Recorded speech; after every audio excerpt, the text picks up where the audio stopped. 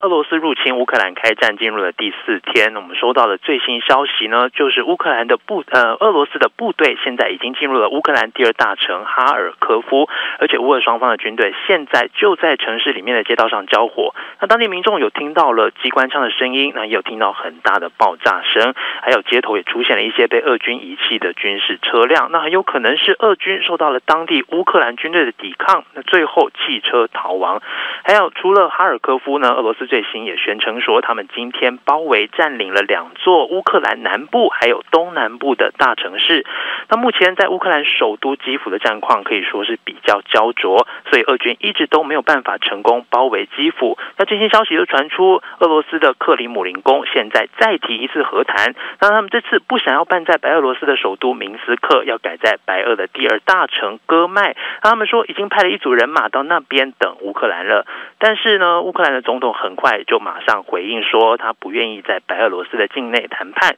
那因为俄军现在也从白俄罗斯的方向来攻击乌克兰，所以如果要谈的话，地点一定要改到其他地方。那他有提议说，波兰的华沙啊、匈牙利的布达佩斯，甚至是土耳其的伊斯坦堡都好，那就是不要办在白俄罗斯。那另外现在呢，西方国家和俄罗斯的资讯战也打得很凶，就是有欧洲议会的议员就说，他有看过俄罗斯的情报报告，那里面原本分析说这场战争一到四天就会结束，但是现在已经打了第四天，乌克兰还是很坚决的抵抗。那俄军现在就面临了后勤补给很不够的问题，而且当初带的弹药可能只能撑三到四天。因此，芬兰外交部长就警告说，不要小看普京的必胜决心。他认为俄罗斯有可能已经准备要动用核子武器。以上就是为您掌握的最新消息，请支持 TVBS 国际 Plus 全新频道，让您扩大视野，掌握趋势，接轨全世界。恳请订阅，开启小铃铛。